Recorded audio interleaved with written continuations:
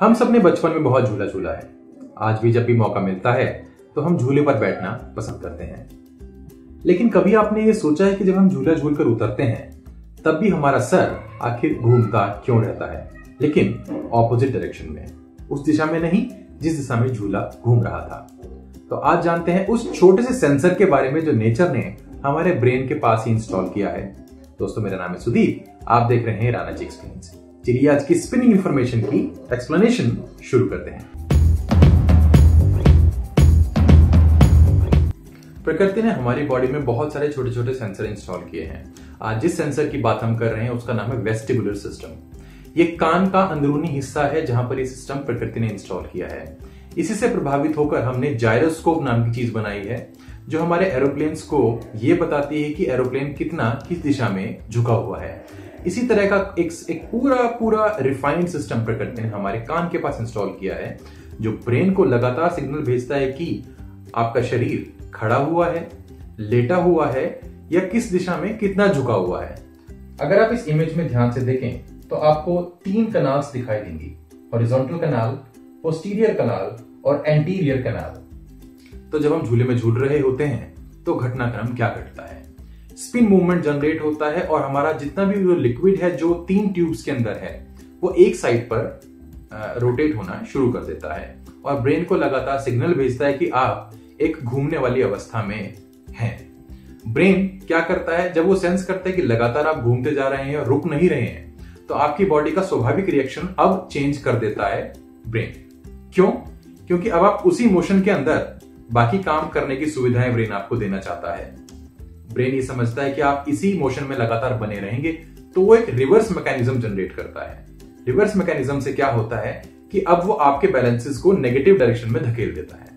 तो एक positive signal जो मिल रहा था कि आप घूम रहे हैं, ब्रेन उसको कैंसिल आउट करके नेगेटिव सिग्नल लगातार भेजता रहता है, जिससे आपका जो सिग्नल बैलेंस है, वो ज़ीरो हो जाए।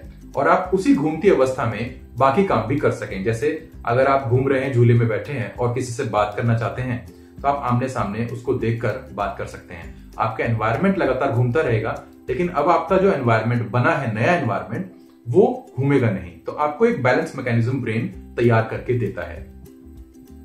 जब हमारा झूला रुकता है और हम झूले से बाहर आते हैं तो ब्रेन को सिग्नल जाते हैं कि आप अब घूम नहीं रहे हैं। लेकिन ब्रेन अभी थोड़ी देर बाद उसको सेंस करेगा। वो एक करेक्शन मैकेनिज्म है, जो थोड़े थोड़े टाइम के बाद उस करेक्शन को एडजस्ट करता है। तो ब्रेन को अभी भी ये लग रहा है कि आप घूम रहे हैं। तो एक रिवर्स मैकेनिज्म जो उसने बनाया था, वो अभी भी कंटिन्यू रहता है।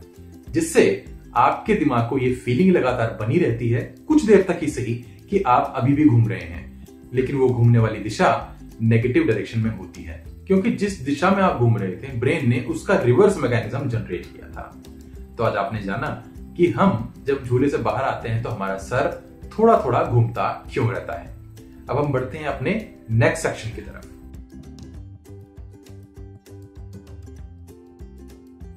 दोस्तों, जब भी हम विदेश से वापस आते हैं, चाहे वो प्लेन से आए, चाहे वो सी शिप से आए, हमें कस्टम क्लियरेंस फॉर्म भरना पड़ता है, जिसमें हम ये डिक्लेयर करते हैं कि हम विदेश से क्या लेकर आए हैं। आज मैं एक बहुत छोटा सा फैक्ट आपके सामने लेकर आ रहा हूँ, जो अभी रिसेंटली अपोलो 11 के यात्री बज ऑल्ड्रिन ने रिलीज़ किया है। उन्होंने बताया कि जब वो चाँद से लौटे थे तो उन्हें भी एक कस्टम क्लियरेंस फॉर्म भरना पड़ा था, जिसमें उन्होंने डिक्लेयर किया था कि वो चाँद से क्या लेकर आए हैं। आज वो कस्टम स्क्रिप्ट में आपको दिखाने जा रहा हूँ। इस कस्टम स्क्रिप्ट में आप क्लियरली देख सकते हैं कि उन्होंने मेंशन किया है कि वो चाँद से क्या लेकर आए हैं। तो यहाँ पर आप देख सकते हैं कि मून डस्ट और मून रॉक दो चीज़ें उन्होंने डिक्लेयर की है जो वो चाँद से लेकर आए हैं।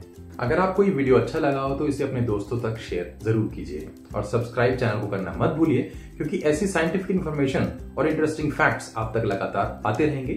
राणा एक्सपीरियंस देखने के लिए बहुत बहुत धन्यवाद। और वो छोटा सा बेल आइकन दबाना मत भूलिए, जिससे हमारी आने वाली वीडियोस आप तक सीधे पहुँचते रहें। Thank you for watching